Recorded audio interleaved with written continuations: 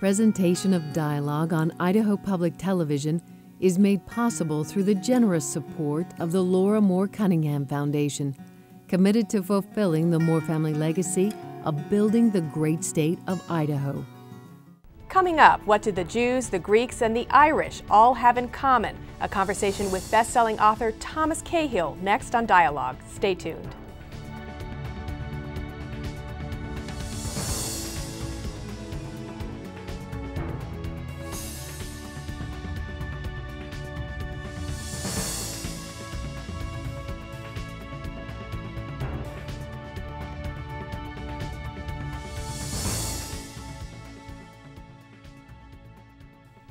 Hello and welcome to Dialogue. I'm Marcia Franklin.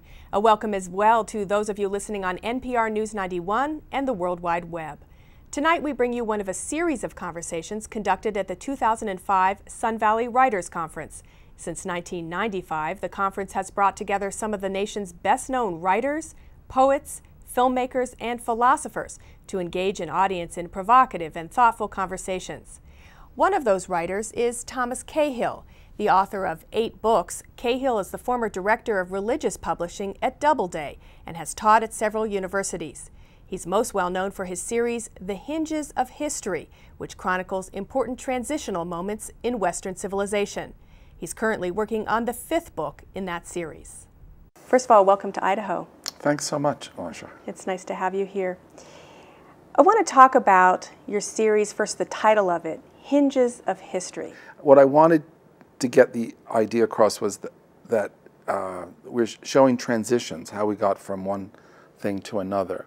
So these are these really are hinges. That's what, what, what the books are. They, or you could say bridges. That would be another uh, way of saying it. But how we got from one place to another uh, in the course of Western history. I think that historians, academic historians, uh, deal with less and less territory all the time um, you know, an individual academic historian will be an expert on perhaps 50 years of history, maybe 100, if he's really broad.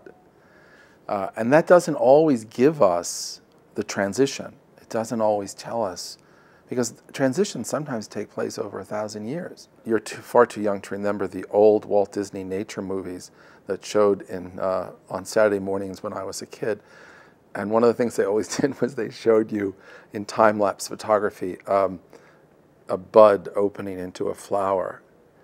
Well, that's what I want to do. It's really all these books are time lapse photography. I want to show you the movement. I don't want to just say, well, now we're in the 19th century and we turn the page and now we're in the 20th century. In the year 1970, I first thought of this series. And in my mind, then it was six books. And then I thought, no, this series needs a simpler introduction, uh, something that helps me gather an audience. And that's when I thought of How the Irish Saved Civilization, which is a kind of introductory volume to the whole series.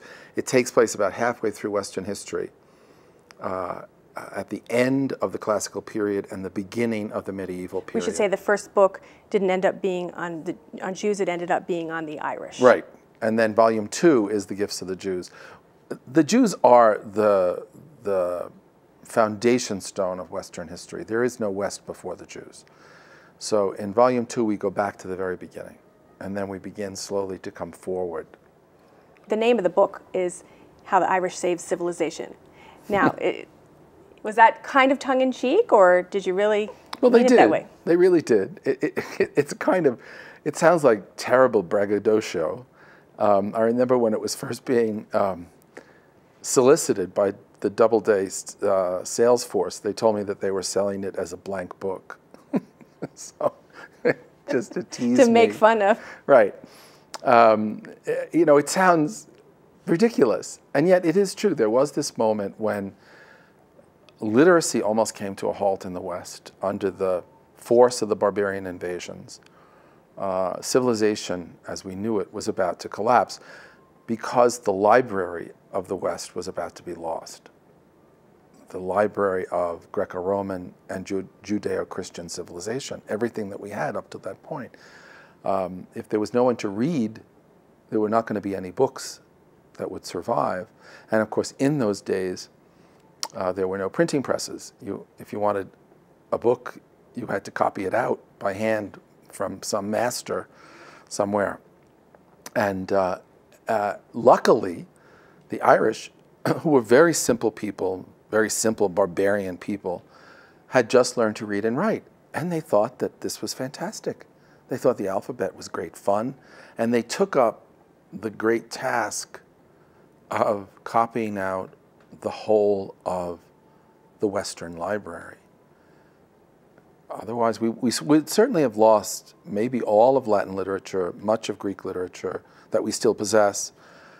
uh, Hebrew literature would have been saved by small groups of Jews here and there, but, they, but, but the, the sense of the West would have been lost. So in a sense, they helped save Western civilization, because I know some people have written in and said, wait a minute, there, there were other civilizations. Yeah, but this is our civilization. This is the one that we started with. For us, this is civilization. It's not as if you can wake up in the morning and say, well, I think I'm going to change my civilization. You can't really do that. So for us, they save civilization. One of the things that you've talked about is that you're also trying to chronicle the great gift givers that we've had in our civilization, and that when you write these books, you come across people that you hadn't expected to come across. And in the Irish book, that was St. Patrick or Patricius, yeah. as he was known growing up. Well, that's what his mother would have called him. Right, because he was actually a Brit- Briton, but a, he uh, was Roman. Yeah, he was a Roman citizen of the island of Britain. And I didn't know until I read your book that he actually was enslaved yeah. as, a, as a young man. By the Irish. By the Irish. By the crazy Irish. So, what kind of things did you learn about St. Patrick, Patricius? Well, you know, Patrick left us um, an autobiography. It's, it's quite brief, but it's called The Confession. It doesn't mean a confession in our modern sense. It means uh, a testimony. Really, is probably would be a better translation of the of the Latin confessio and it, it's a testimony to his life. It's, it's what happened to him. Um, but Patrick was a very unusual guy. He was a tough little nut. He had tremendous courage, tremendous generosity, and he really impressed the Irish, who were not easy to impress except by those qualities because they were extremely courageous themselves uh, to the point of foolhardiness.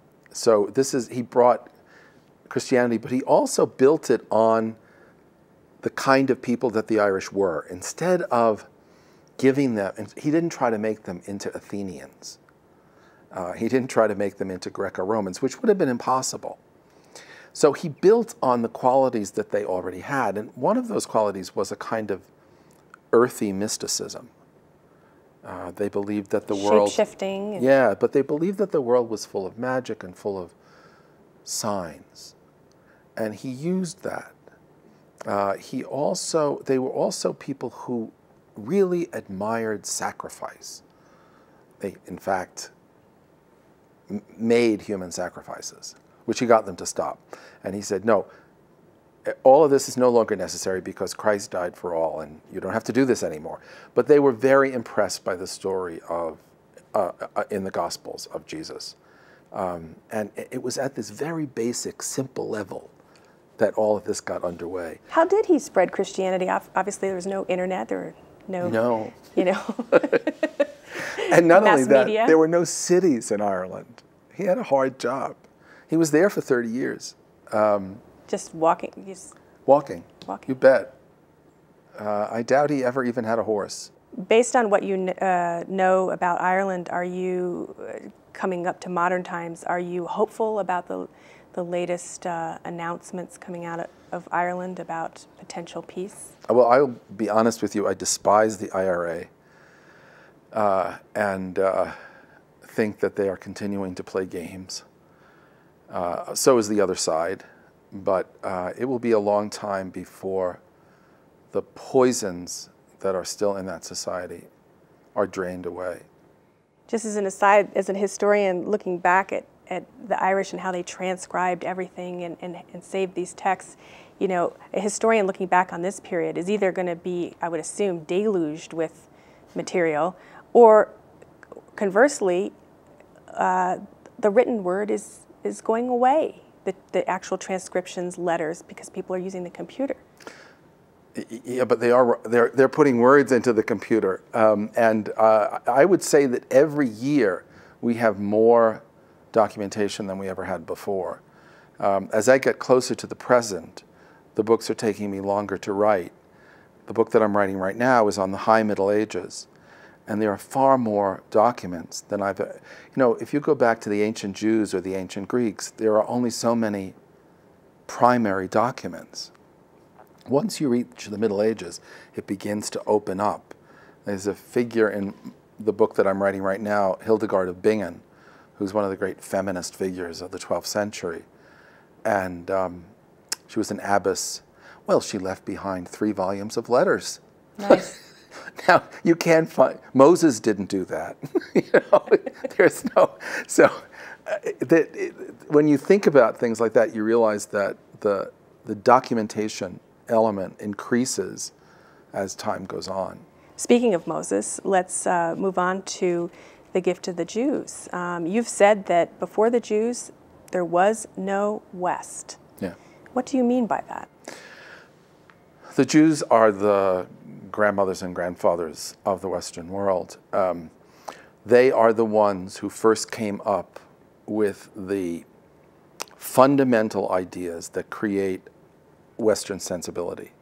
Um, when Abraham uh, sets out for the unknown, the idea of time changes. Before that, in all societies, time was cyclical. It recurred. People didn't think the way we do about time. They didn't think that what would happen in the future would be something different, something unknown. They thought, no, no, it will be the same as what happened in the past. In fact, they looked up at the sky and they thought that what they saw there in the zodiac was predictive of what would happen on Earth. So things just keep coming back again.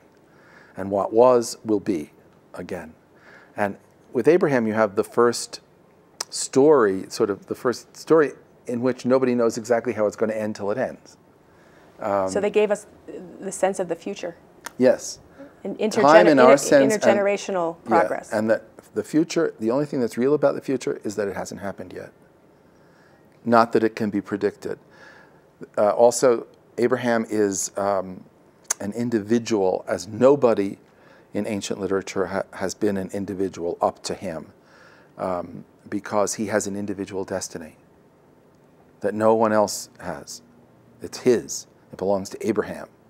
And that's the beginning of the idea of individual destiny and the idea of individuality. You also mentioned that you believe that uh, Jews introduced the idea of justice to all. Yeah, and I also said that we're not very good at that one. We're very good at time and we're very good at individuality. We've got that down, you know, really well. Um, both uh, Christians and Jews are, have yet to embrace the notion of justice, which doesn't come to fruition in Abraham. It really comes to fruition uh, first in the Ten Commandments and then in the, um, the rantings of the prophets who keep saying to the Jewish people, no, you're not doing it right. What's important is taking care of the poor. Uh, God doesn't care how many prayers you send up to him. Are the poor taken care of? You say that there, it would be nice to have a modern day prophet, someone who could singe our eyebrows a little bit. you don't see anyone on our current horizon. No, we do. That, we have some. We could use a few more. Dalai Lama. Who, who, do you think would be considered a modern day prophet in, in the sense? Well, they may not all, all have the stature of someone like Jeremiah, but I think um, uh, Desmond Tutu in South Africa. Um, Helen Prejean, the death row nun. And we should say that your definition of, or when you talk about prophets, it's not people who can just, you know, predict the future or whatever. No. It's the people who give us, show us the present. Who show us what is wrong with what we're doing right now. Um, who say, no, no, no, no, you can't get away with this. I, honestly, I think that someone like Cindy Sheehan sitting outside um, Mr. Bush's ranch in uh, Texas is prophetic. She's a prophetic figure the person that you met in this book, similar to meeting St. Patrick in the Irish book, was David. Yeah, well, he's my favorite. He's the one that I really liked. That David, whereas Abraham and Moses um, are truly ancient people, you know, and, the, and in that way, they're, there's something, they're almost surrounded by mist, you know, no matter how you try to get close to them, you The can't. fog machine. You can't quite penetrate all of that mist. David just seems like, you know, I said he's the, he could have been the captain of the football team or the, you know, he was a he was extremely entertaining. He was a he was a wonderful politician. Uh, left us some, left us some psalms. Yeah, well, he was also an absolutely terrific poet. You know, and, uh, he was a great sinner and a great poet, which is a wonderful combination. Now, you encourage people to, to, to read the Bible as, as slowly as they need to, and you even learned some Hebrew as well to help you uh, understand it. Well, in each of the books, I've tried to approach the, the, the important original language, whatever it was. And it seemed to me essential to learn Hebrew. Um, And you, you know Greek as well, which helped you for the book on the Greeks and the book on Jesus. yes, because the New Testament is written in Greek. Um, and um, I, I, luckily, I didn't have to learn Irish uh, because the major texts were in Latin, and which I did already know. Um, and So the, back to the Hebrew, it helped you. Oh, it was tremendously important, I think, because every language, you can translate from one language to another, but each language is almost like um, like a musical instrument. You know, you can play the same tune on a piano that you play on a cello, but they sound completely different. They give you a different feeling, and um, e- each language has its own uh, strengths and, and weaknesses. Uh, Hebrew is really a desert language to begin with, and it, um, Very spare. yeah, it, it, it, it's under tension. And um, in Hebrew, nobody says more than they have to say. Lech lecha, Yeah, go out. uh, it, it, it's, it's um, eh, no one uses three words if two will do. And if they can use silence, they'll use silence. You know, in the desert, in a place like Sinai, even today, the people who live there, they move very slowly. They think before they speak. And I think the ancient Hebrews were very much like that. So listen to listen, so to speak, to the silences in the Bible as well. Uh, they're very important. What isn't there, or what doesn't seem to be there, is very important. You have been accused by some of liking Jews too much, admiring them too much. Is this the book that brought the most of that sentiment down uh, on you? I mean, how do you how do you respond to that? You've always been fascinated by the Jewish culture. You're Catholic, I should say. Um, so how do you respond to the people who, who say that about your work? I, I, I, I can be critical of Jews, but um, as I can of all the people that I deal with. But um, what I said to begin with is simply true. They are the grandmothers and grandfathers of the Western world. To, and I think we must honor and, and give homage to our ancestors. If we don't know who our ancestors are, we're orphans without a past, without a history. And then we don't really know who we are. We're rapidly running out of time, which is unfortunate, but I want to touch on some of your other books. The Greeks, uh, you, you wrote a book, Why Greeks Matter. Um, you see parallels in America's current situation to what happened in Greece and in ancient Rome. The, uh, I, I see some, yes. Not, of course, there are many differences. History never repeats itself. That's the one thing it never does. But we still see things that are very useful lessons to us. And uh, the loss of the Athenian Empire, uh, which was very gradual and surprising to the Athenians, reminds me of the situation that America is in right now. I think that we've gone foolishly and thoughtlessly into a needless war, as the Athenians did against the Spartans. They finally ended up losing, which Athens never thought possible, but they went in without allies.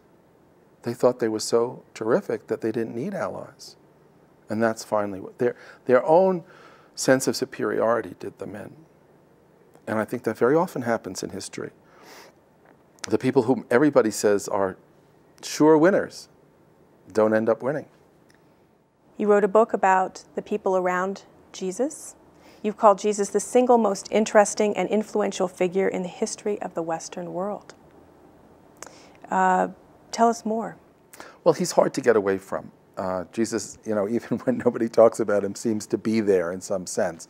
He's even if he's a figure of humor, uh, as he is, say, with someone like Monty Python or something like that.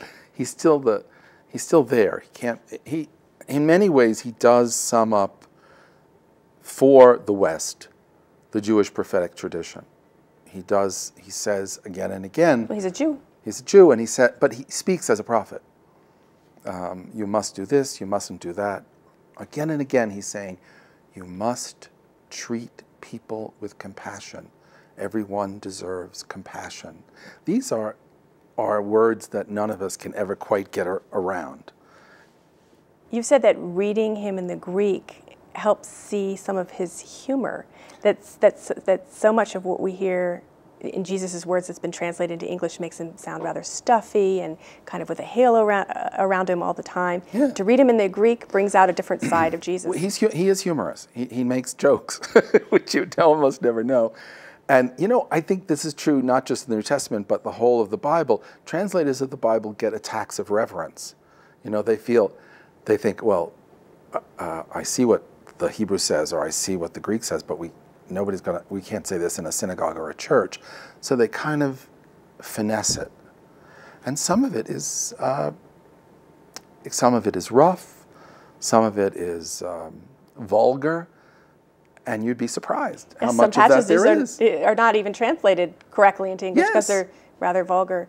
Um, the person that you met in this journey was Paul. Yeah. Well, he was the one who surprised me because I never liked Paul at all. and then I, I realized, first of all, I had to separate out what he wrote from what he really didn't write, even though it's attributed to him.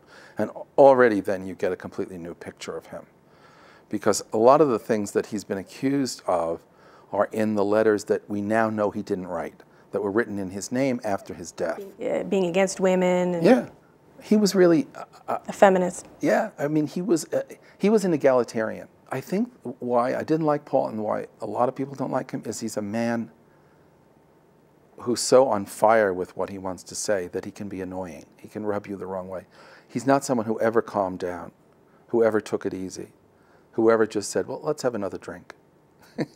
that was never, well, he what he, he said was, let's set off to the next town. He said he was a man born out of time. Yeah. I mean, he never got to meet Jesus. Right. So maybe he felt that extra push. Push to, uh, to, to evangelize. But he's incredibly interesting psychologically, I think your main question about Jesus was Has he had an effect?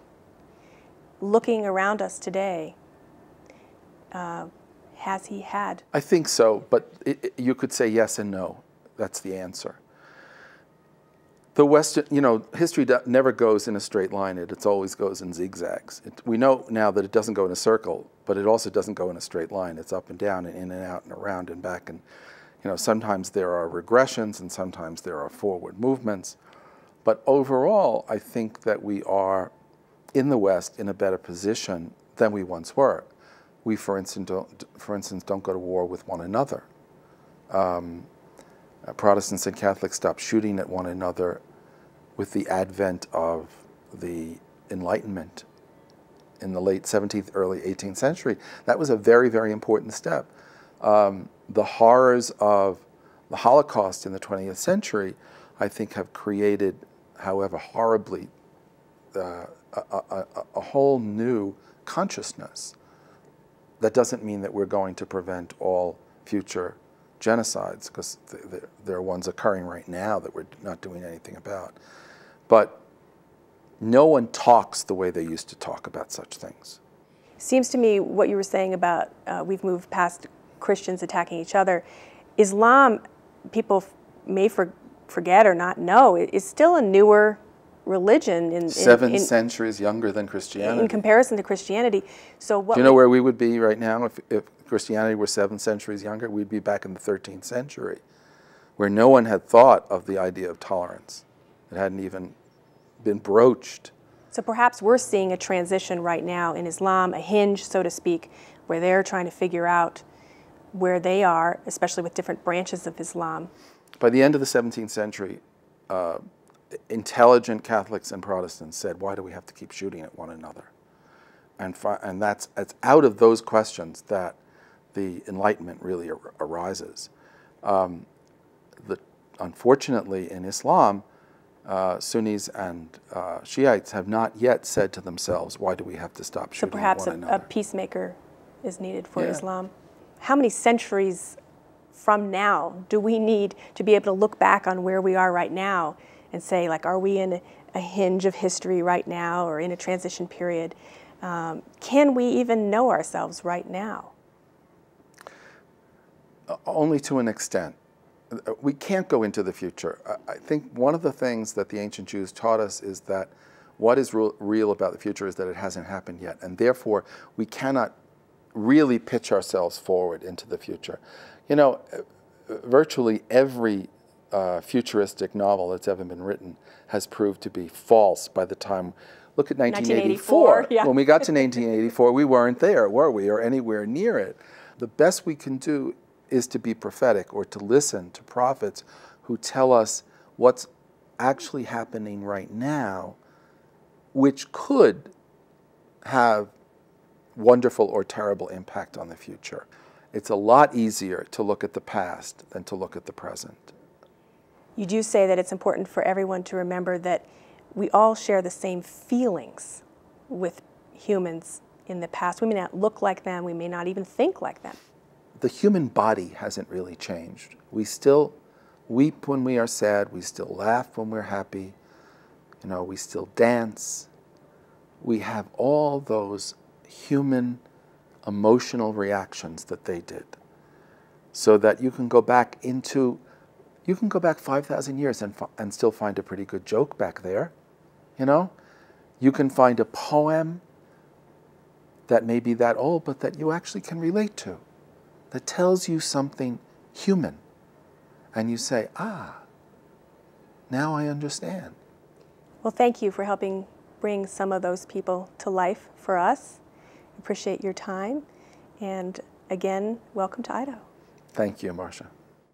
You've been listening to author Thomas Cahill, one of a series of conversations from the Sun Valley Writers Conference. You can listen to this interview again and the others in the series by going to our website, idahoptv.org slash dialogue. Thanks for tuning in. We hope you'll join us same time next week.